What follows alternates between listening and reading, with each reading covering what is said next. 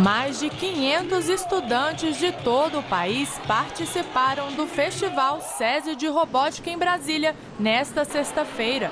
O clima era de festa. Na hora de programar e tudo, tem as suas divergências, mas sempre nos divertimos.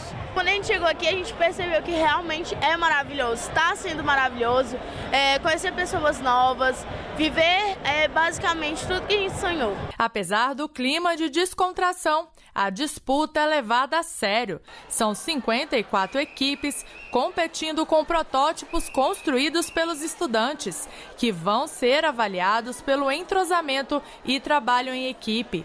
O professor Fernando técnico da equipe do Acre, diz que a robótica ajuda no aprendizado de matemática e física. A base da linguagem da programação é a matemática.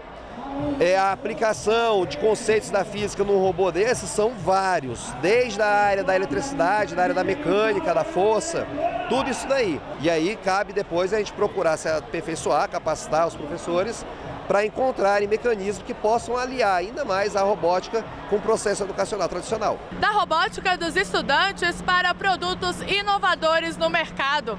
A mostra Inova Senai reúne 30 projetos aqui na Olimpíada do Conhecimento, como esse sorvete que substitui a gordura hidrogenada por azeite de oliva e promete ser uma opção mais saudável para os amantes dessa sobremesa.